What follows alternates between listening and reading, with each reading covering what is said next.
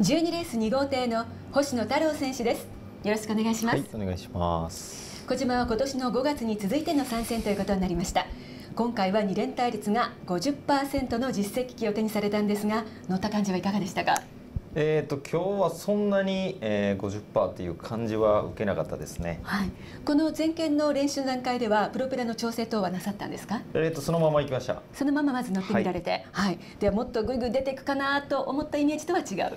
そうですね。そこまではちょっと感じなかったですね。はい。実践に行くとこのエンジン差というのは出てくるかと思いますが前装置は丸亀で従来型のエンジンだったんですかね？そうですね。はい、はい、これは乗り比べてみると体感は違うんですか？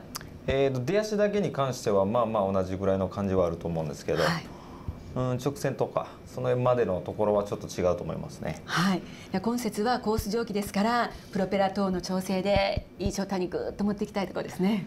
そうですね。もうそれでできたら一番いいと思います。はい。近況はご自身としてはいかがなんですか？えっ、ー、とごくごく最近は良くなってきてると思います。はい。はい、では木も新しくなりましたから、はい、勢いつけていきたいところですね。はいはいそれでは一節間にかける意気込みをお願いします、えー、最後まで一生懸命走ります。応援お願いします。